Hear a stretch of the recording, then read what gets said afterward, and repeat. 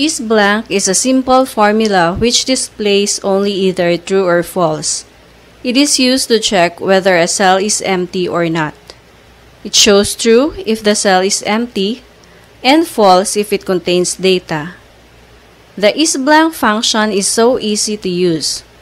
You can find it within the information group under Formulas tab. Or you can quickly display this function by typing the equal sign and isBlank. Watch this short video for a quick illustration on how to use this function.